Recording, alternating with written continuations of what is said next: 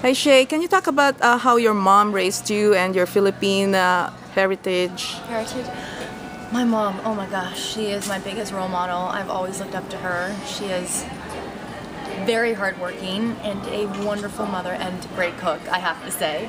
Um, she raised me to just be very confident with who I was. And, you know, growing up in a predominantly Caucasian community, it was a little bit hard because sometimes I felt, you know, a little different from the rest of my group of friends and other people. And when I started acting, I would always get these roles for the girl next door, the girl next door. And, you know, in my mind, I was like, oh, is that blonde hair and blue eyes? I don't have that.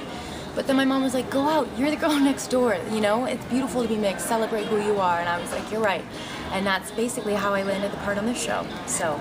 And your cousin Lea Salonga, was she surprised when she found out that you were in Pretty Little Liars? Yes, she was. And she's always been very supportive whenever we go and watch her shows. She does a special little hello to all of our family that are sitting in the front row. So it's always nice to go and see her and be able to support one another.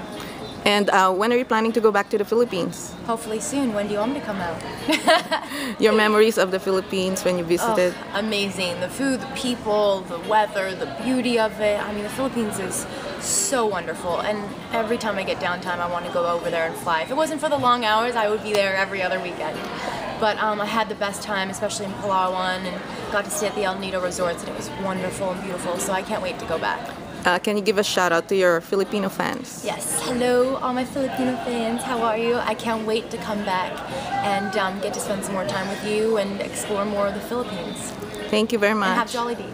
Thank you.